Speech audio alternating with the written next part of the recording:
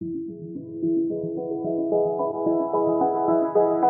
this video, we'll explore how Oracle Database fits into the modern cloud-native observability stack using the Oracle Database Metrics Exporter. The Metrics Exporter uses OpenTelemetry, an open-source observability framework that provides a standardized way to collect and process telemetry data.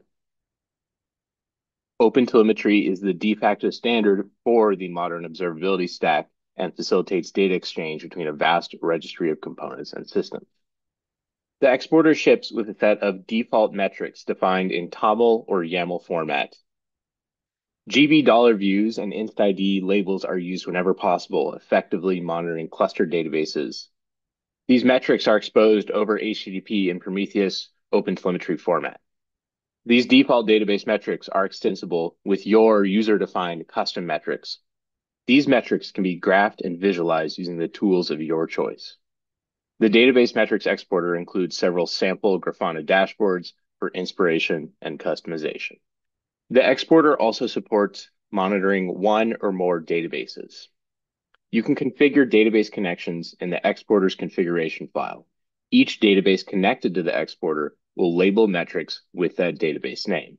Individual metrics may be restricted to certain databases by specifying a database array in the metric configuration. These features allow you to fully customize the exporter, the metrics, and the databases you're collecting data from.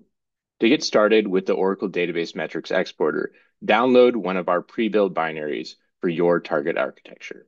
You can also run the exporter using the official container image hosted on containerregistry.oracle.com.